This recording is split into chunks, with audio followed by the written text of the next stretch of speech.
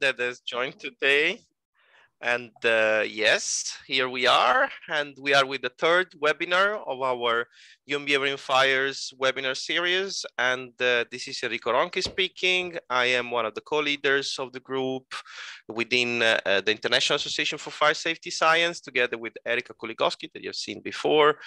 And uh, I'm very glad today uh, to introduce Dr. Anne Templeton and Dr. Milad Haghani, that are two very brilliant researchers and also two dear friends uh, that work in our field. And today we're going to hear about the misuse of controversial terminologies in evacuation research. So a very interesting topic uh, because uh, let's say there is a lot of discussions uh, in the scientific community uh, of human behavior in fire on what is the correct terms that we should use when referring uh, uh to different aspects linked to evacuation. Uh, just to give a practical example, I'm part of the ISO group on vocabulary uh, of Technical Committee 92 on fire safety, and I hear a lot of discussions there on different terms. So this is probably going to be very useful also for me to feed that conversation. And just uh, a couple of information here. This is the third event of our webinar series. We have um, a YouTube channel where we post all our uh, webinars and uh, uh you also have the opportunity to join uh, the Human 5 Partner Group of IFSS. Uh, this can be to contribute or remain updated. You don't pay anything, it is free. We're gonna post now this link in the chat. You just put your info and uh, you uh, enter the mailing list and uh, you will be uh, kept updated on the next events and next activities uh, of our group. So as mentioned, uh, today we are gonna have first Dr. Anne Templeton that is a UKRI Future Leaders Fellow in the Department of Psychology at the University of Edinburgh in Scotland. And uh, she's a specialist in understanding inter and intergroup processes in collective behavior with a particular focus on applying social identity approach to pedestrian simulation. So she's really into social identity theory. So this is a very good perspective uh, for this webinar. Thanks, Anne, to be here. And then we will have also uh, Milad Haghani as a senior lecturer and an Australian Research Council DECRA fellow at the School of Civil and Environmental Engineering of the University of New South Wales uh, in Sydney. And he specializes in various domains of human factors and public safety research, particularly pedestrian evacuation dynamics. So also uh, uh, really uh, great uh, uh, to have you here, Milad. Thanks to both. So I don't want to take too much of your time because we want to have uh, you both presenting. And then at the end, we also want to have some Q&A sessions. So if there are questions from the audience, we will pick it up there at the end. So I now stop my slides and I ask you, Anne, if you can show your slideshow. Absolutely. All right. Uh, the floor is yours. Thank you. Can I just check the slide is changing? Yes, everything works. Perfect. Okay, excellent. Um, thank you so much for having me present this talk, and thank you so much everyone for for attending and coming along. Um, Enrico just gave you a bit of a, a, brief blurb about me, but just to give you a bit more background context. So, my background is in crowd psychology, and then I moved into pedestrian modelling for my PhD, and then later into evacuation research. And coming from that crowd psychology perspective, I was really surprised to see terms like panic and contagion in the evacuation literature and the broader pedestrian modelling literature, because we don't really use them as explanations for collective behavior in modern crowd psychology. In fact, a lot of our work is trying to refute the notions behind these terms. So in this talk, I really want to look at I want to look at the evidence for panic and contagion in emergencies. And I just want to dissect what we actually mean by those terms and make some recommendations for ways to explain evacuation behavior, behavior in evacuations. So, why do we want to discuss panic and contagion? Why is this important? Oh, whoops, there we go. Um, we use terms like stampede and mass panic and contagion, and we, we often use these to explain collective behavior in emergencies. And the underlying idea of these terms and these sort of sensationalist headlines that you see in the media, like you've got some in the slide here, is that people in a crowd will become panicked automatically and they'll act irrationally and dangerously. That's the kind of sensationalist connotation. But we use these terms in the literature quite a lot. And I really want to dissect what these terms mean and how inaccurate or accurate they are when understanding collective response to emergencies.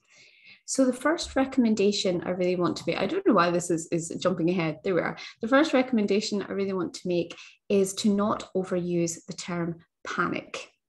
I say this for a few reasons. I want to really think about how common this idea of panic actually is or isn't. This is uh, one of my favourite papers uh, I've read recently. There's a systematic review that was conducted by Dermot Barr and colleagues, and it was a review of 630 media articles about 127 collective flight responses to misperceived threats. And I find this systematic really, really interesting because the authors actively search for terms such as stampede, flee, or panic. And then they looked at the description of the behaviour in the media and also what could be seen in video footage of those events. And when they were looking in detail at the behaviour of the events, they found that stampedes were actually very rare, and there were rarely reasons for injuries like we tend to assume in the literature. When we look at the occurrence of competitive behavior like pushing or trampling, this was also relatively rare. It was actually in less than half of the incidents that were reviewed. And I think we often have this kind of assumption there's this homogenous sort of panic or herding response in evacuations. But actually, what this review found was there are diverse responses to threats or misperceived threats. For example, they found that some people in the emergencies would run away, they would flee, but many just walked away calmly. And others would stop or film or try and investigate the reason for the situation or even try to intervene with the apparent source of the threat. I think something really crucial that comes across from this paper is that reports of behavior such as the running, the screaming, the crying occurred more in text accounts of the events than could actually be seen in the videos of those incidences. So there's an imbalance of what is reported and what can actually be seen, what's reported in the text about events, and then what can actually be seen in the behavior of those events. And I think this is why it's useful to really critique the idea of what we mean by panic. So emergencies are can be scary things and it can be really unclear what to do, especially if you've not had kind of guidance beforehand, evacuation guidance. And if we look at footage of emergencies, we might see lots of people running in the same direction, what we might call a stampede.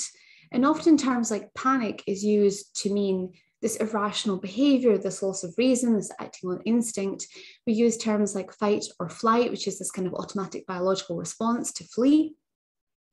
But the problem is that what behavior people enact in an emergency, what they're actually doing at the time, might make complete sense to them. But we're looking at it from an outsider perspective, and we look at footage to try and infer why people are acting in a certain way with their own biases and expectations. And it wasn't really until the last few decades where we started sort of systematically asking people experiencing the emergency why they behaved in that way. I think it's important to look at the perspective of people in the emergency because knowing the reasons for this behaviour is important to have an accurate idea of why the behaviour is actually happening. So I've only got about 20 minutes, so I'm going to give you a very, very brief history of crowd psychology. And um, this is a huge topic, so I'm very happy to talk about it in more, more detail if anyone's interested. So I want to go back in time to 1985. And one of the first kind of popular books of crowd psychology was by Gustave Le Bon, and it was The Crowd, the Study of the Popular Mind. So Le Bon was writing about French crowds and he was kind of writing for the elite and he was talking a lot about sort of um, uh, people who were uh, in the revolution. And he portrayed the crowd as being very criminal as a spineless mass. And his argument was that when people enter a crowd just by the product of being in a crowd situation, they would lose their sense of self. They would become submerged into the crowd. They could be easily hypnotized in performing certain actions by a leader. And he argued that in emergencies, crowd members would irrationally panic and typically do the wrong thing. And he also argued that there's this automatic transference of emotion in a crowd, this idea of contagion. So if one person gets angry or panics, everybody would just by being near them. And although these aren't the exact meanings of the words that we use now, we do still see words like contagion, contagion, irrational panic used now with some of the same connotations. If we fast forward about 100 years, if we look at uh, modern crowd psychology, the evidence suggests that Le Bon's accounts of panic and contagion don't hold up. And we look at accounts given by people who've experienced the evacuations or other emergencies. Some do report panic. It's not that they say panic doesn't occur, but we really need to critique what this idea of panic actually means. And a great example of this, one of my favourite pieces of work, is by Chris Cocking and John Drury with survivors of the Hillsborough Stadium disaster. So this was a large disaster at a football match in England in 1989. Um, disaster started when an entry gate was opened because they thought it would be easing uh, crowd flow but, or easing overcrowding, but actually it led to too many fans entering into the, uh, the fan pens and eventually there was a crush. Fans were trying to climb the fences to get onto the pitch to escape and were being held back by security and police. And it was a huge tragedy in modern British history because 97 people died and there were 766 injuries. Chris Cocking and John Drury looked at the language that was used by survivors to describe what was happening during the event. And what they found is that language used by survivors suggests panic means very different things. So, for example, people would refer to themselves as an individual panicking, but said that it wasn't widespread in the crowd. It was them as an individual, it wasn't everyone panicking. Or they would describe feeling fear, but not panic. They refuted the idea of acting irrational, even though they were fearful.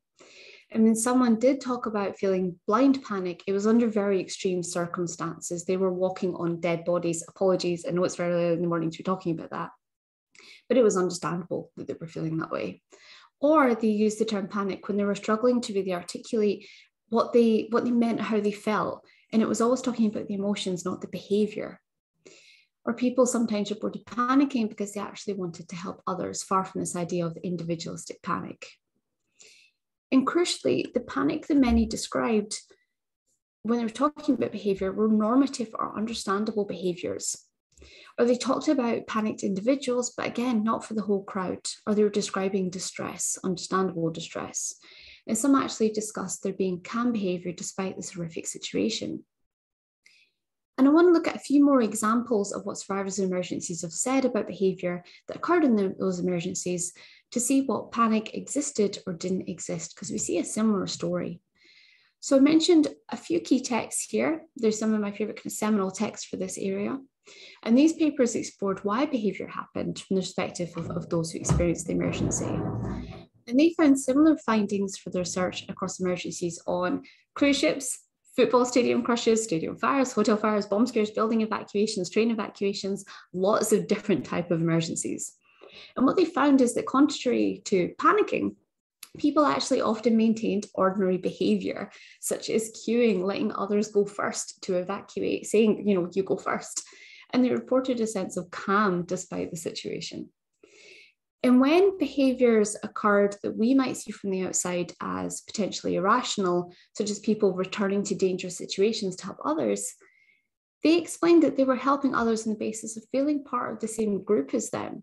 So, what was happening is that in the emergency, this uh, perceived shared fate, this common fate, this facing the same threat, brought them together to feel part of the same group, and they helped others on the basis of that group membership. Now, I'm going to talk more about those group dynamics in a minute, but just for now, I want to focus on panic in these quotes. So here's an example from one of the papers. In this first quote, the interviewer asks, Did you think anybody panicked? And the person responded, in our carriage, in our train carriage, no. Or if they did, they panicked inwardly. They didn't express their panic. I mean, there was no screaming in our carriage. I mean, people were trying to get out the door, but they weren't trying to get out the door stupidly. So, really refuting this idea of irrational panic, people running around screaming, they weren't. And I'm not going to read the second quote for the sake of time, but what you can see in this quote is the sense of calm and speaking against the idea of irrational panicking. So it's calm despite the hectic situation and really refuting the idea that people were, they said they weren't, you know, running around screaming their heads off. Now, if anyone has seen a talk by crowd psychologists, they might have heard of social identity theory and self-categorization theory. These are theories that we often use to explain group dynamics. And I just want to give you a very brief description of them to help kind of underlay a lot of these group dynamics that I'm going to be talking about. The first is social identity theory. Social identity theory suggests that we have a personal identity, that's our individual differences, idiosyncratic things to us, And we have social identities, and these are our memberships of social groups. And we can be members of multiple social groups. It could be a fan of a particular sports team, it could be being an academic, being a Twitch streamer, can be a firefighter. And knowing having these social groups is really important for understanding how we navigate the social world because these groups often have um, kind of norms and behaviors associated with them. They guide us how to act. We look to others in a group to know how we should be acting. And just to give you um, a little, uh, some key terminology for going forward, one key term we use in, in crowd psychology is in-group member. This is someone who we perceive as being in the same group as us, the same social category. And this is particularly relevant for emergencies because research uh, from social psychology quite broadly has suggested that if we see someone as an in-group member, we're more likely to help them, to show helping behavior towards them and trust them, trust information from them. Giving you an example there, uh, Levine and Tall's an excellent paper. So self-categorization theory aims to explain how we categorize others in, and ourselves into these social groups in different contexts how we shift from considering ourselves as being an individual, that personal identity, to considering ourselves as a group member, that social identity. And this is really important for understanding emergencies because evidence suggests that perceiving this common fate, this common threat, can bring people together, where they start to see others as group members. And understanding how people come together in emergency and the effects of that group membership is important for two key reasons. The first is understanding helping in cooperative behavior, like those I mentioned a minute ago, letting others go first, running back to help others. The second, which I'm going to talk about more now, is understanding social influence, such as how particular behaviours or actions might spread through a crowd in an emergency, and also the bounds of that influence, how far that behaviour might spread or not spread. So my second recommendation is that we should stop using the word contagion and instead use social influence because it is a more nuanced, appropriate description of behavior. So contagion is this idea that emotions or ideas are contagious and sweep through the crowd with a sort of automatic transference to some degree. Social influence is different.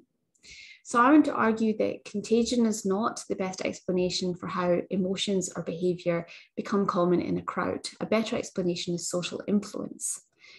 Research from social psychology suggests that we're more likely to look to people in our group for information about how to act. We're more likely to trust them and perceive that what they're doing is normative for our group, it's what group members do. And this can be particularly the case in emergencies because often they're novel. It's not really clear how to react or how, how to respond to this new situation. So we look to others for guidance. I'm conducting research for the UK Department of Levelling Up Housing and Communities, um, aiming to look at how group dynamics impact evacuations in high-rise buildings, particularly in fire situations. The overall project is led by Michael Spearpoints. It's in collaboration with Steve Gwynne.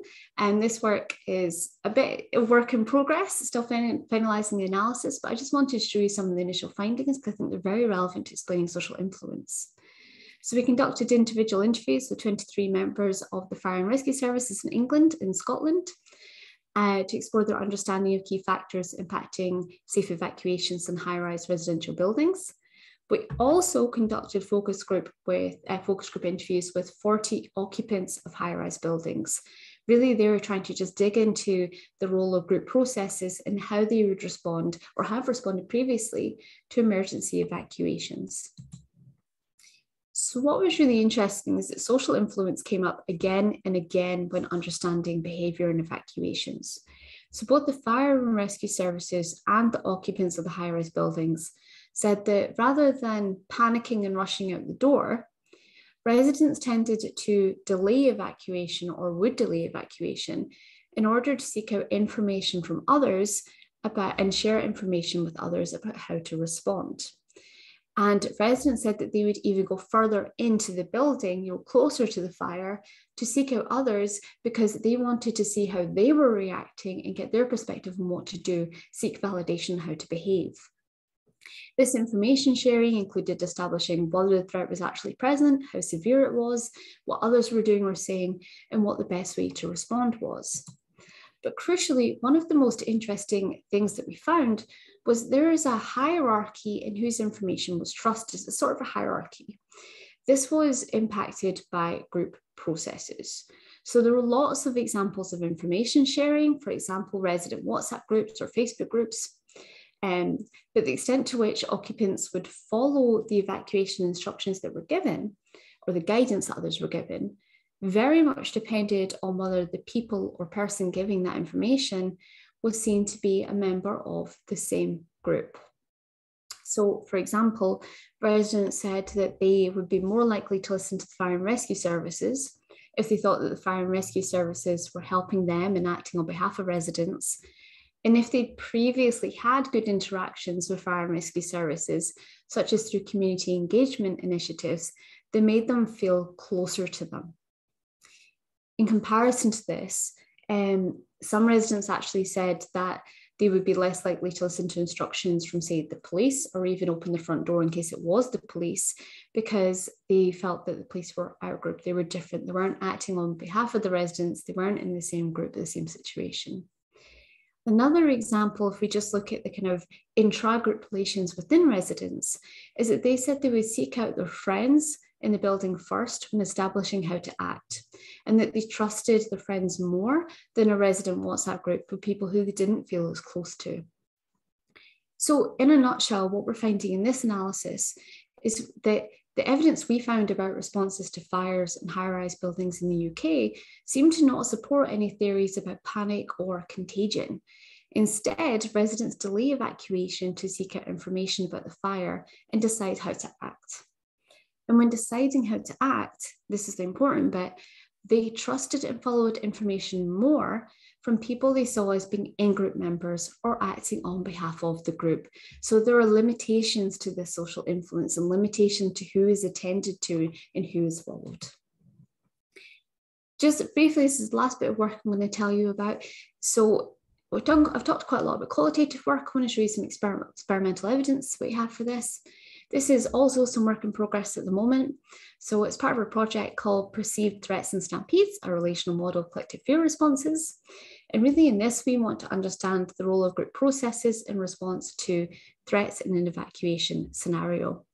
It's led by Professor John Drury at the University of Sussex, and it's funded by the ESRC.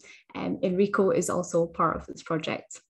The core question here is who do we pay attention to in the immediate aftermath of an emergency and how does this impact our evacuation behaviour? So we actually have a series of studies that build on each other, but just for the sake of time, I'm going to give you an example study and some example findings. So here's our design. We recruited people who considered themselves to be very concerned about environmental issues, and we told them it was for an urban navigation study. It wasn't, that's deception, never trust a psychologist. They were actually given an evacuation scenario. So they're presented with this virtual environment where an ambiguous sound goes off that could potentially be seen as threatening. They're then told by members of the crowd, member, members of the crowd that it was either that sound was either a gunshot, so something threatening, a door slamming, something non-threatening, or a control condition where it was unknown, they didn't know what it was. And crucially, the information about what the noise was was given by either an in-group member someone who is also an environmentalist, or a stranger. This is the control condition. And so we manipulated whether the noise was threatening or not, and whether the, who the information was coming from, in-group member or someone else. And we measured the effects of this on identification with others in the crowd, the extent to which they felt part of the same group with others, the intended response for the evacuation, trust and information about the noise, and perceived danger. So the preliminary findings suggest that when the noise was perceived to be threatening, this is the gunshot condition, it increased the perception that others in the crowd were part of the same group. It brought them together. And this is very similar from what, what I've mentioned earlier. We've seen other sort of emergencies where that perceived common threat, that perceived threat brings people together to feel part of the same group. And the influence of others, how much they would follow others, was related to the extent to which they saw those others as being in group members. So they would be more likely to follow the behavior of others the more they saw them as in group, as being part of that same group. So, what does all of this mean? Just to bring it all together. Please, please, please, let's not rely on the word panic. I think we can do better with describing that behavior. Panic is a really easy catch all word, especially when looking at flight behavior. But we should be specific and consider what's actually happening from the perspective of people in the crowds and think about what we mean when we're saying panic. Do we actually mean that people are alarmed, that they are uncertain or scared? And keep in mind that the evidence suggests people will still act rationally and look for appropriate courses of action, even when they are alarmed or scared. And the evidence suggests that people do not usually act irrationally in emergencies, but they're reacting to novel, uncertain situations and potentially scary events.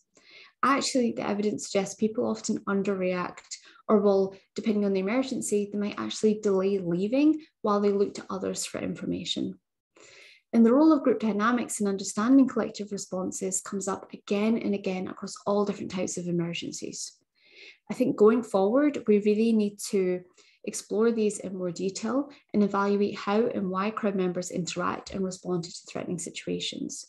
For example, we can see from research in group dynamics, there's very little evidence for contagion, this idea that emotions spread wildly and herding behavior occurs. Instead, we see how people may delay evacuation while they seek information from others. This operates within those boundaries of who is trusted. People are more likely to trust those they see as being a member of their group or acting on behalf of the group. The evidence suggests, in a nutshell, social influence is a better way for understanding how collective behaviour emerges and the bounds of how much that behaviour spreads. So thank you very much for listening. Um, this is really a whistle stop tour. If you have any questions or want to talk about it, I'd love to. Here's my email address. in the meantime, I will stop sharing. Thank you. Thanks, Anne, for the very interesting and let's say spot on presentation on uh, terminology. And now it's time for Milad. So we will take all questions uh, at, the, at the end. So Milad, please share your screen and the floor is yours. Thank you very much, Enrico, and thank you very much, Anne, for the beautiful presentation. She absolutely covered a lot of very useful grounds in this, in this space, very useful for myself as well. It is a pleasure to be with you all. Um, I am a little bit conscious of time, so I'm going to quickly get into the main content with not um, too much introduction. So let's get into the main part. Okay, I have to put some disclaimers first. So um, the topic is about the use of term, controversial term, terminologies. And as you will see in my talk, the talk itself is a little bit controversial as well my request is that uh, you don't take any of the content that I'm presenting against me in the future. The topic is complicated, and in order for me to be able to get to the bottom of it and dissect the problem, I have to have a candid conversation with you. And that requires me getting into a little bit of nitty gritty level of details. And if anybody's work gets mentioned, and if anybody's name as an author or academic gets mentioned, please don't hold it against me. It is just purely for the purpose of um, uh, making, a, making an academic uh, discussion. And please don't assume that um, neither Anne or I are policing the literature or uh, acting as vigilantes. And if you get challenged on, on your papers, for example, on the use of these terminologies, it doesn't necessarily mean that it is us. That sentiment is shared with, uh, you know, across a lot of people, and we are just pre presenting that sentiment and to you today. We just happen to be the, the ones presenting it. So please don't think that uh, Haghani is a literature police, and if you get challenged for the use of these terminologies, it's necessarily me. Okay, let's move on to the main topic. The main sources of the uh, presentation talk is these two papers. The first paper that um, we wrote in 2019 with Emiliano Cristiani, Nikolai Bode, Maik Boltes, and Alessandro Corbetta, uh, titled Panic, Irrationality, and Herding, and a paper, and a more recent paper in, that I published in 2021 in Physica the knowledge domain of crowd dynamics. So predominantly the content is coming from these two studies. So what I am covering, I'm mainly covering these, these issues. What are the controversial terms and why do we care about them? How old is this, this, this discussion? How prevalent is the problem? What's the origin of the problem? Who are the people who are using these um, languages? I'm using a little bit of a spicy language here. I hope you don't take it literally. Um, uh, and I am also going to have a brief look at the language of non-academic media uh, in relation to the use of these terms. Also, at the end, I'm going to summarize what the implications of the use of panic and irrationality is and what my recommendations is and what my recommendations are. and what, also what are the implications of the, the term herding and what are the recommendations in that regard. So this is the scope of the talk for today. Um, I was trying to come up with an introduction. I could not come up with one better than the one that uh, we wrote on the uh, on the paper Panic, Irrationality, and Herding. So if you don't mind, I'm just going to read it out to you. Here we go. As researchers working in the field of pedestrian dynamics, we have experienced that the presentation of a piece of research on the topic of crowd evacuation, whether to an academic audience or lay audience, barely goes without uh, barely goes by without researchers being confronted with these questions. How about the effect of panic? How do you model experiment panic? And to a lesser extent, we get these questions from in, in our review processes, although not recently, unless we go to non-specialty journals. Another point, we have also observed that these debates are often not resolved with a rigorous argument based on facts and empirical evidence, and are rather addressed with some level of speculation and resorting to intuition. Nevertheless, nevertheless, researchers often concede that these might be limitations of their study. Moving on. The question that arises is why, after so many years of research in the field of crowd dynamics, these terms have remained so interactable. And my last point, the issue of panic, I have observed this in the literature, the issue of panic constitutes a rather frequent disclaimer at the discussion section of publications and crowd evacuation papers, and a common ground for criticizing the modeling and experimentation in this field. Such disclaimers often appear in wordings such as, these experiments were conducted under non-panic conditions, or the influence of panic has been excluded from the experiment. So the fact that researchers have felt oblig obligation to put these disclaimers. So this gives the indication that simulating or modeling panic is going to be a future development or a gold standard or an ultimate goal in this field, something that the research is headed towards, but one that we have not been able to tackle just yet. Okay, so what are the implications of all of these? Okay, we get to the bottom of it in this talk the controversial terms. What are they and why do we care about their use? The terms are panic, irrationality, herding, and stampede predominantly. The reason we care about them is not just because they are inaccurate terminologies. It's because of the fact that they have significantly altered the course of crowd dynamics research, and we think that they have misdirected a lot of research efforts in this space. That's why we are talking about the terminologies. That's not simply because the terminologies are not necessarily accurate. They have major implications on research and in crowd management practices. How old is discussion? Is this discussion? Well, you might not believe it, but the discussion dates back to many, many years ago, much older than I thought. So in the paper, The Knowledge Domain of Crowd Dynamics, I have presented an over, a historical overview of the field uh, pedestrian dynamics. And I came across this seminar in human behavior. I can't see the title in emergencies.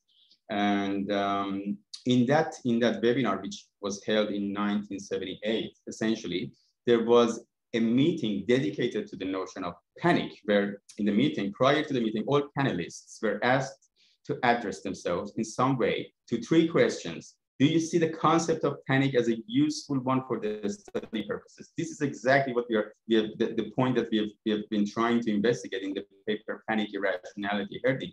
Back then, I was not aware of this meeting and these uh, conference papers that had emerged 10 years before I was born.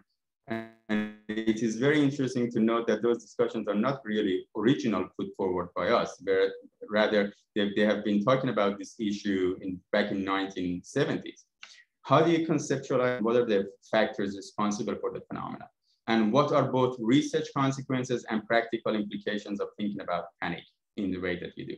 And if you look at the sentiment of these papers, they actually share the same sentiment that we are presenting to, today to you. And it is very interesting that since then the literature has taken a turn and has gone against it. So what has been the fact, the, uh, the motivating factor for that? We get uh, to that as well. In terms of the implications of the, the use of these terms in policy, their implications are crystal clear.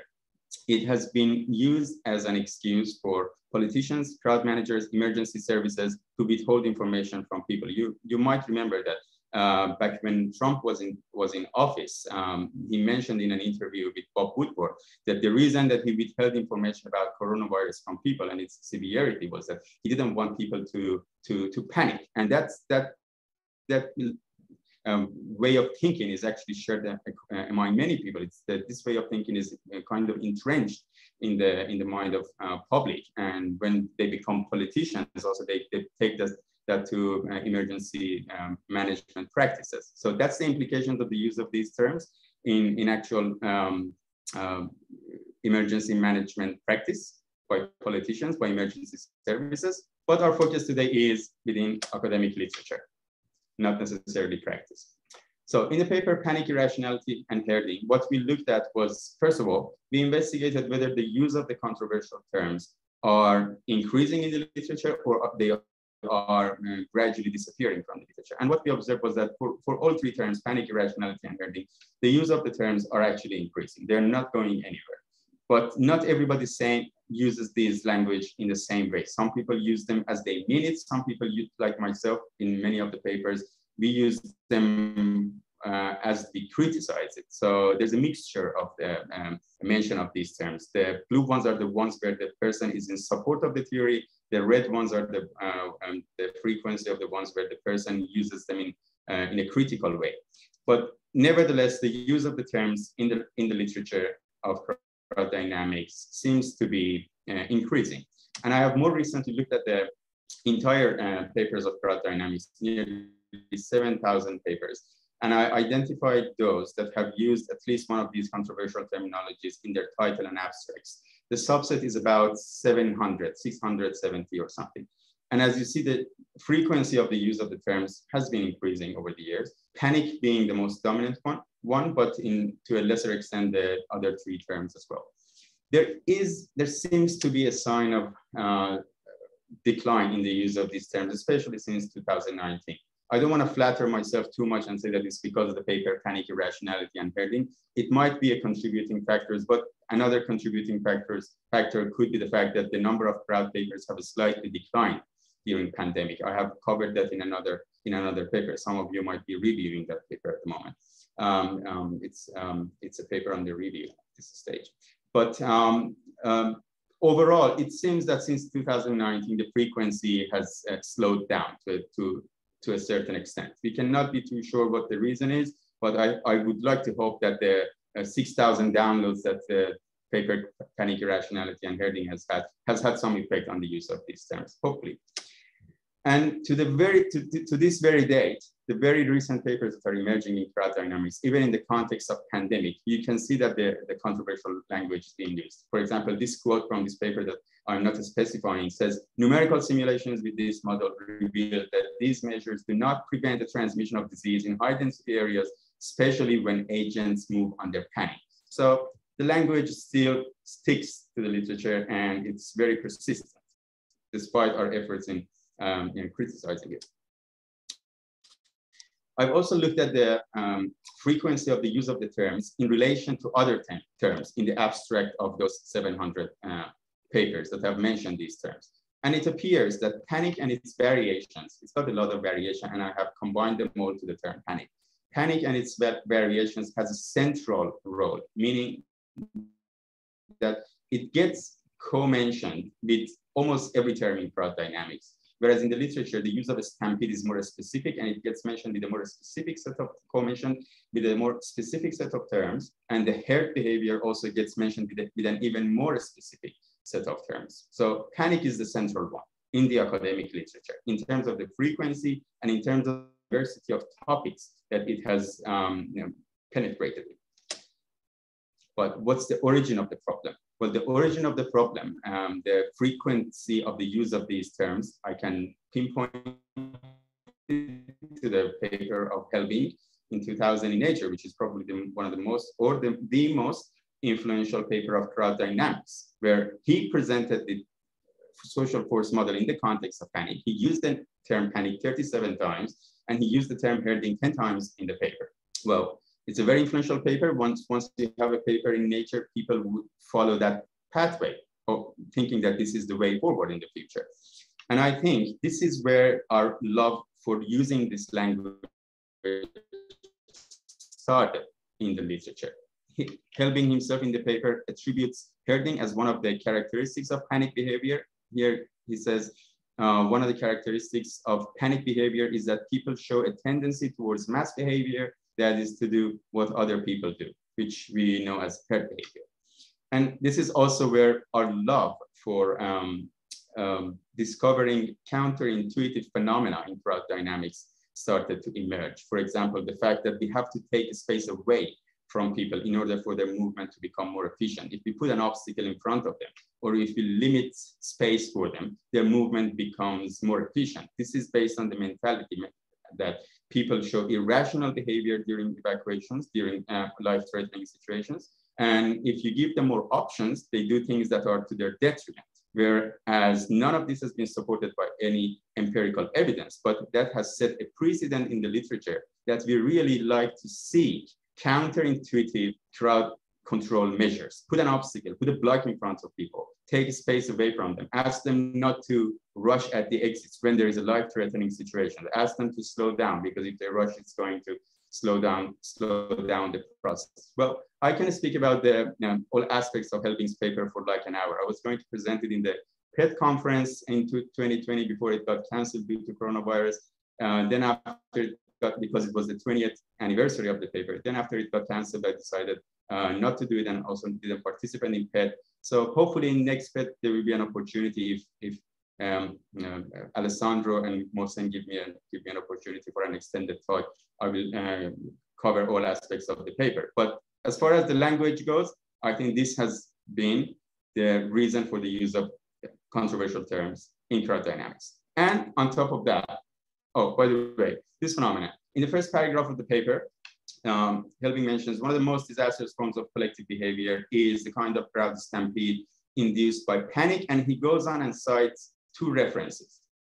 And when you look at reference number one, it's actually the paper from Keating, which is titled The Myth of Panic. Well, I cannot help but notice the irony of the situation that this, this paper, as, as, as uh, the title shows, cannot be any support of this, this statement. The paper is called The Myth of Panic in the first place. So that is uh, a little bit um, you know, contradictory to me and, and, and confusing the way uh, these references have been put forward. Also, the news and views piece that was written uh, in the same issue of uh, Nature on top of this paper uh, to you know elaborate a bit on, on, the contribution of the paper didn't leave any room for speculation that the point panic, the issue of panic was the selling point of the paper. After all, Helbing had already presented in a paper in 1995 in Physical Review the principles of social force. So and that, underlying the fact that this, this news and views focused on the issue of panic, did not leave any room for doubt that the matter panic was in fact the selling point and was considered the contribution of the paper by the editors and reviewers of Nature, right? And this, has, this news and views piece has also had many implications for research in this area. I will go through a few of them. For example, this paragraph reads, to decide whether a particular model is an accurate description of real life or to determine which model is the best for the situation under consideration, requires real data to compare, to compare with each model's predictions. Beautiful, that's what we say too. But what is what comes next is, but such data are scarce and or non-existent and may be extremely difficult to collect. This became a talking point for many papers that came after this. So they decided, okay, we, we are facing a situation, panic, it's not solvable, it's in, so interactable, there's not no data. So we have only two feasible solutions.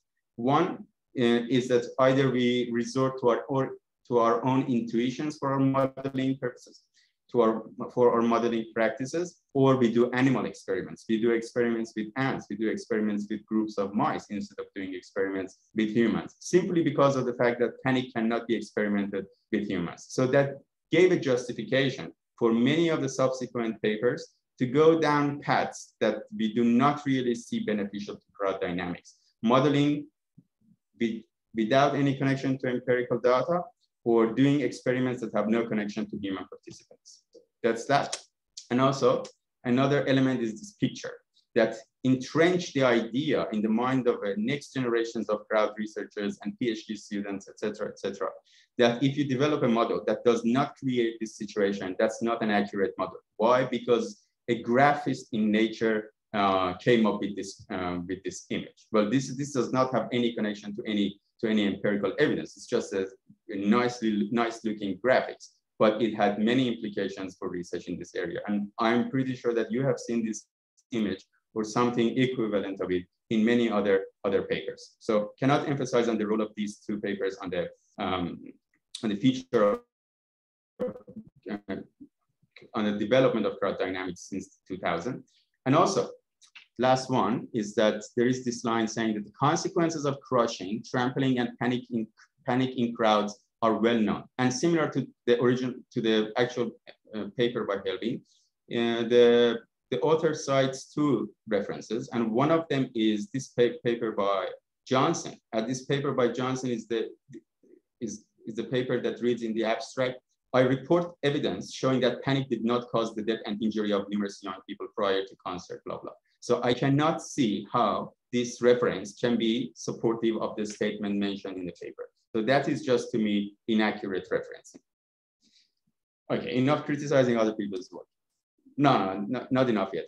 I have more, one more slide, sorry.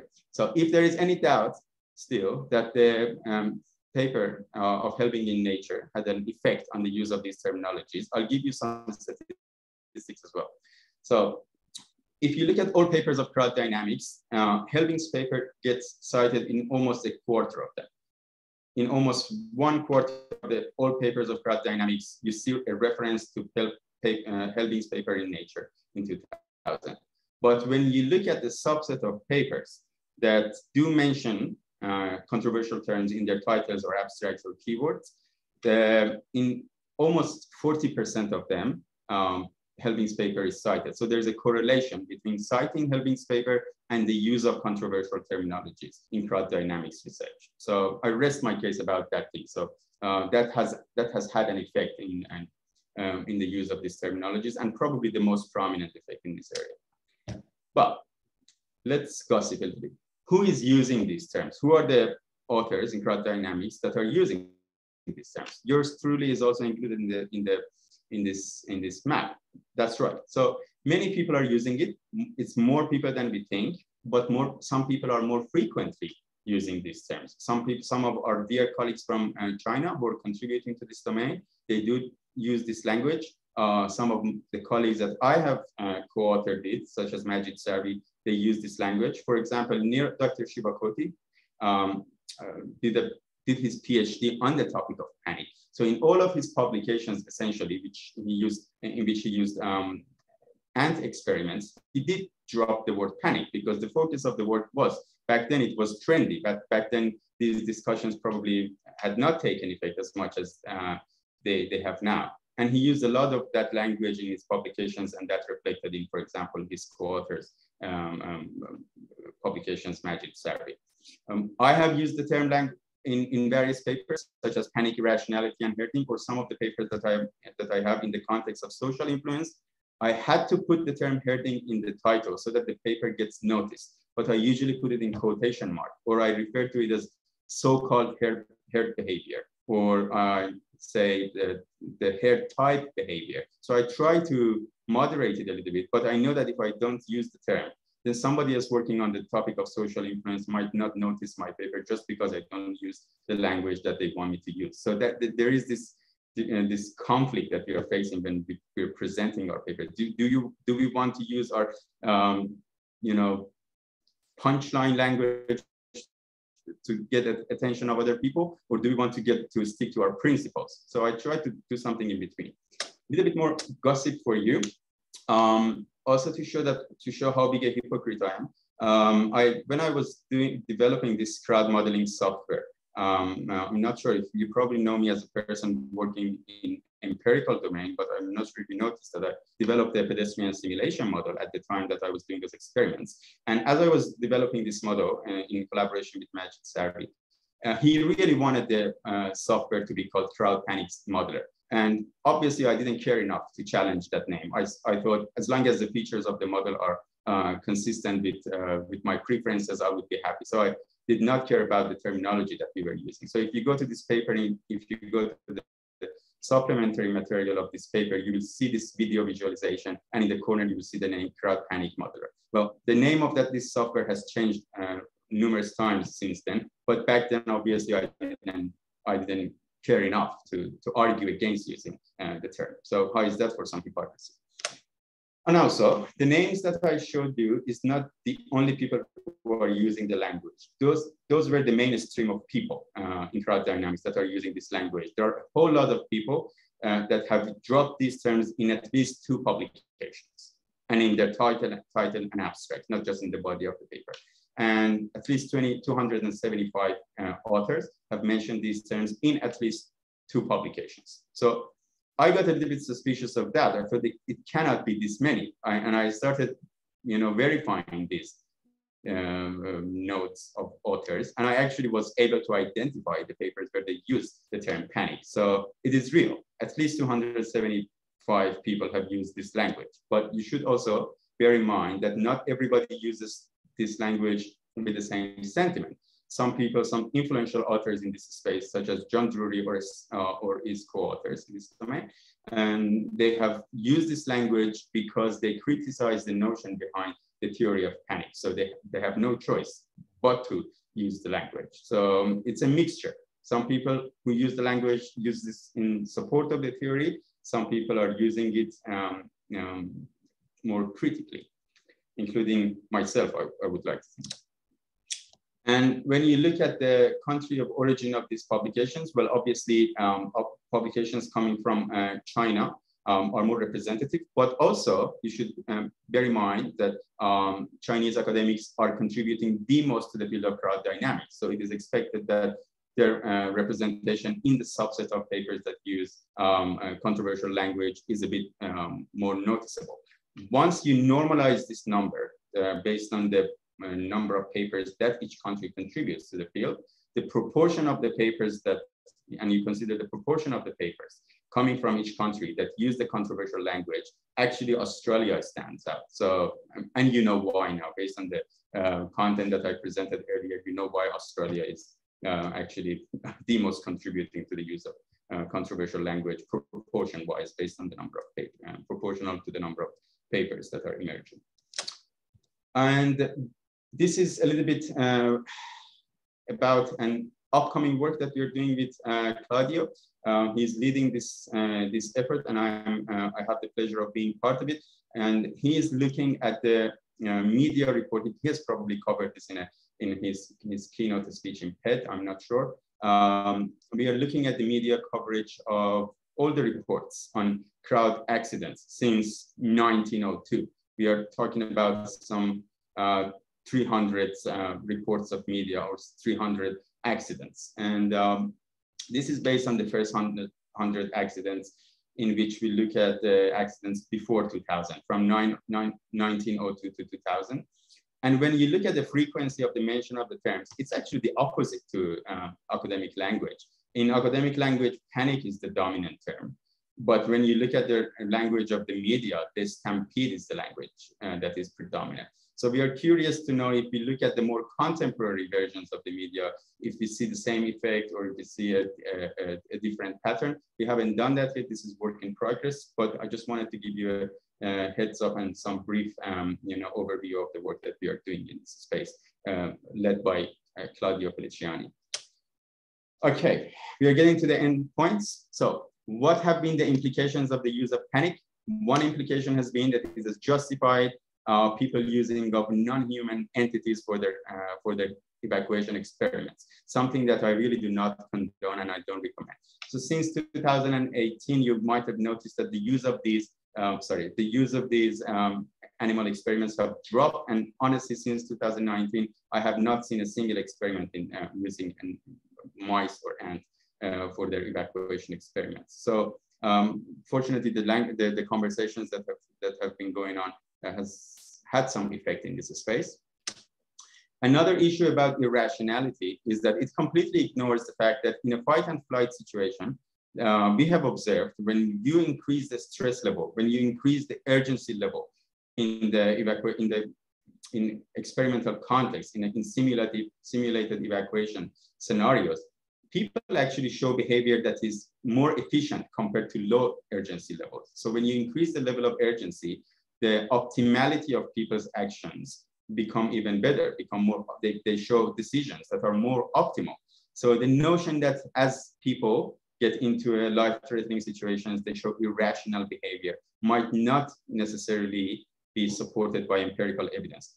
Actually, I have observed a lot of evidence to the contrary of it in the uh, simulated evacuation experiments that I have con conducted and analyzed. Um, these are the issues with panic. So we do not like to use panic. We instead recommend that the panic be uh, substituted by more measurable and operationalizable language, such as the, the effect of stress or urgency level on people's behavior. And similar to that, for rationality or irrationality, we recommend that this does not contribute to the field and it is best if it, if it's substituted by the notion of optimality. When you use rationality, rationality has a very specific uh, definition in, for example, in the literature of economics. And uh, when you use it, people get confused that are you using it in relation to the definition of economics so un until, unless uh, you come up with a clear definition for rationality, I think the use of it is going to be detrimental to your research. And I think that if you use the, the, the term optimality, it will be more understandable for, for, for an academic audience in this particular field.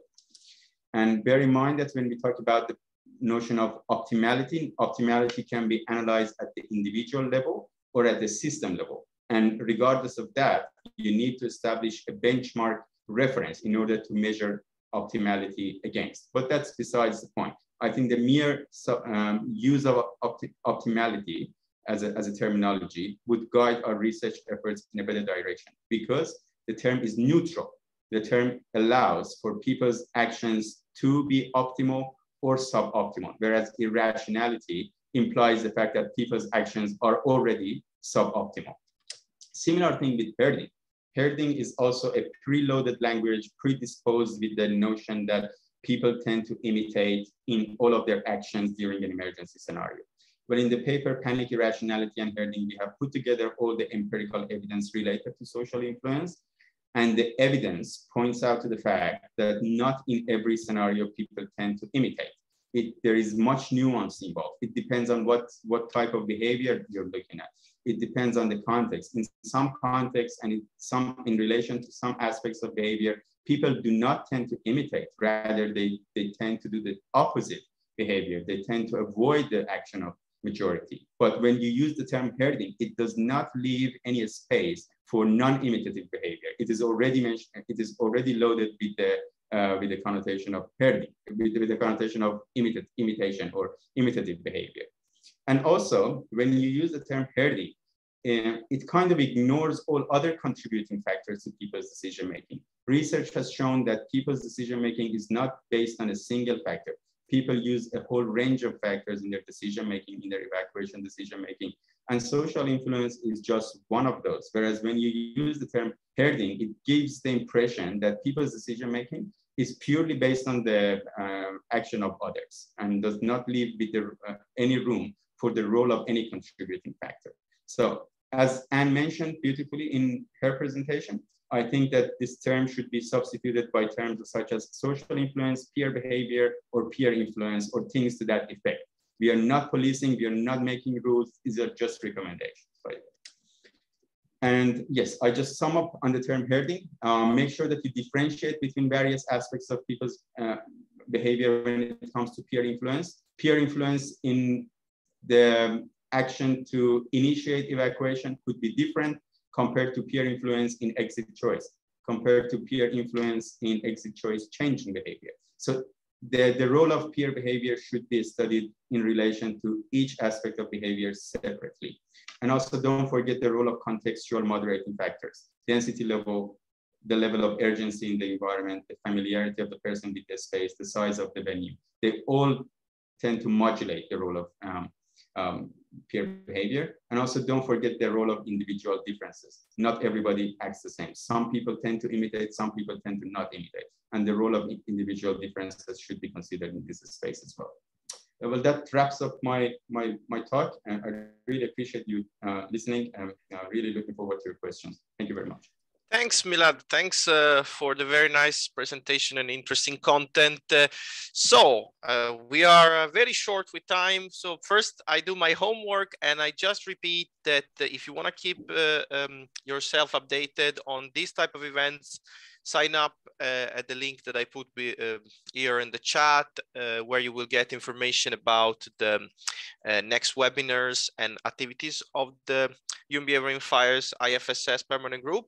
We have we are over time, but if it's okay with the speakers, we can have just a couple of questions very quickly. And I mean, if people have to jump off for the next meeting, I hope uh, uh, it's not a problem. Uh, I just picked some of the questions because there were a lot of comments in the chat, which is nice uh, that this sparked a lot of interest. There was one question from Mike Kinsey that he mentioned, could this be magnified by the fact that we have non-native English speakers? So can this be linked to the fact that uh, non-native English speakers do not appreciate their erroneous use of the word panic? Anne or Milad, do you have some comments on this? Uh, would you like me to go? Uh, I Maybe. think both. You can go, go for it, Milad. You go first. Sure, thank you. Well, absolutely, and also social media. Well, we have our own platform, Twitter. We are connected on Twitter, and we all, um, as a result of that, we can we can share all these ideas. And you should bear in mind that um, authors from some other countries they are not necessarily on these social media platforms typically, and they do not use yeah, absolutely English language as a first language as well. So the combination, I think, is a factor. I think um, social media is a bigger factor. For example, how many of our top authors of Incorrect Dynamics um, are present on Twitter? How many of them are involved in these conversations? And how many of them, when we put these things on Twitter, when we share these uh, sentiments on Twitter in our tweets, um, how many of them get exposed to it? Probably not many. I think that's a that's a factor that um, makes our message not get across uh, to you know certain certain areas of the world. And do you want to comment as well? Yeah, I, I would echo that. I, I do think that